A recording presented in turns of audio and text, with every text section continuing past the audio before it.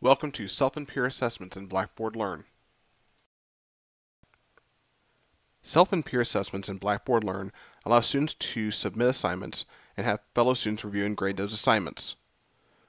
To create a self and peer assessment in your Blackboard Learn course, inside of a content area, go to the Assessments menu and click on Self and Peer Assessment. In this example, we'll be doing a new self and peer assessment. So we'll leave new checked. Then we'll go to name. We'll call this self and peer assessment 1. And we can type in instructions. We'll also need to adjust the submission dates. By default, the start date of the submission dates is the date you accept the item. The submission dates are when the students will actually submit their work for evaluation. By default, it's a week long. Underneath that are the self and peer evaluation options for the evaluation dates. The evaluation dates start at the end of the submission date period by default. Again, you can adjust these appropriately. However, the start date for the evaluation cannot be before the end date of submissions. You can choose to do an anonymous evaluation so students don't know who is evaluating who.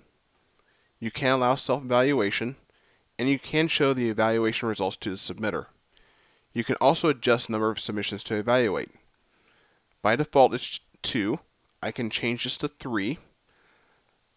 This is the number of submissions each student will evaluate as part of the process.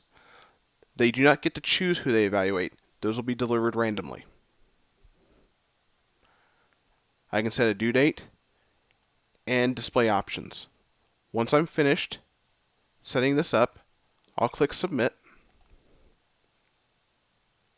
and I'll go to my assessment canvas. I will need now to create a question. I'll click on the Create Question button and I'll need to put in question information.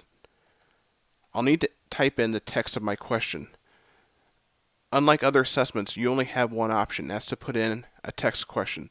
I'll type in my question.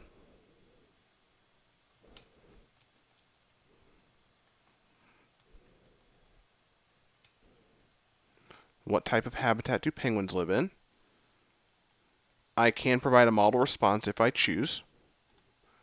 Model response would be what you would be expecting as a response to the question. Once I have my question set up, I can click Submit.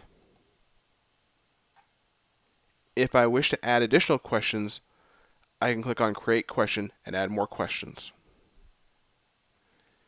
In follow-up videos, we'll show you how to create criteria for each question and how to send the grades that students have received to the Grade Center. This has been Self and Peer Assessments in Blackboard Learn.